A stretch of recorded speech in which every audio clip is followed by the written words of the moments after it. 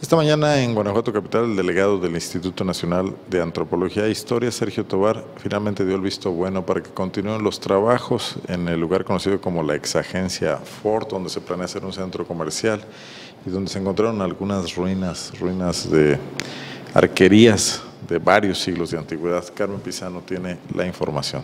Carmen, buenas tardes.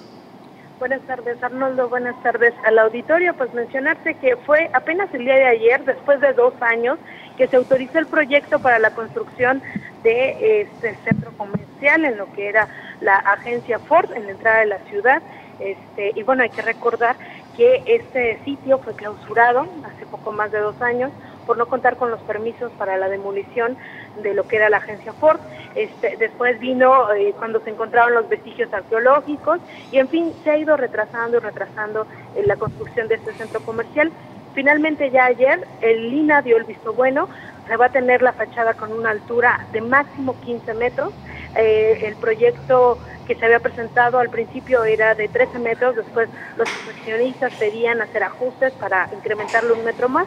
Finalmente ya después de cumplir con todos los requisitos marcados por el INA, pues bueno, se les autorizó que la fachada puede tener hasta 15 metros, aunque todavía queda pendiente, este, por ejemplo, el revisar eh, el, tipo de piso que se va a poner, los colores, los detalles de las fachadas, eso todavía no está autorizado. Ahorita solamente es la obra negra, pero bueno, sí, eh, sí este, representa un avance ya en esa construcción. ¿Recuperaron las ruinas que encontraron? ¿De alguna manera las rescataron, Carmen? Sí, sí, quedan como parte de la fachada. Eso también se tuvo que incluir en el proyecto para este para que no para que fuera visible y fuera parte de este eh, que se pudiera que se pudieran conservar estos estos vestigios eh, encontrados hace aproximadamente un año más o menos.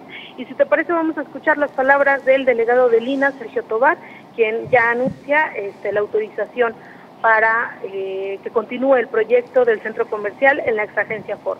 A la entrada de la ciudad, justo enfrente de la zona de los pastitos. Así es. Escuchamos personalmente revisamos el dictamen y ya se les autorizó la construcción de toda la estructura. Falta, quedará pendiente hasta el final todos los detalles pues, correspondientes, ¿verdad? Pisos, colores, eh, estructuras, todo, todo lo que sigue ya está autorizado, pero la obra negra faltará verlo todo lo demás, los detalles. En cuanto a la altura, quedó con También se, autorizó la, altura, se les autorizó un metro más, que eran originalmente 13 metros, o sea que entre 14 y 15 es lo máximo que pueden tener en la parte central, no al frente. Muy bien. Bueno, pues queda claro, importante que lo que se construye en Guanajuato pues no rompa con la línea arquitectónica de la ciudad. Así es, Arnoldo, y bueno, mencionarte que el delegado de Lina eh, decía que ya dejó de ser el INO, porque antes el Instituto Nacional de Antropología e Historia a todos los proyectos decía que no. Ahora ya se autorizan, y, pero siempre tratando de cuidar el patrimonio de cada ciudad, eh, porque él menciona el desarrollo no, no, puede quedar estancado y siempre y cuando los empresarios cumplan con las características, eh, bueno, pues pueden, eh, pueden seguir los proyectos. Y también mencionarte que en esta entrevista que tuvimos hoy por la mañana con el delegado Sergio Tobar,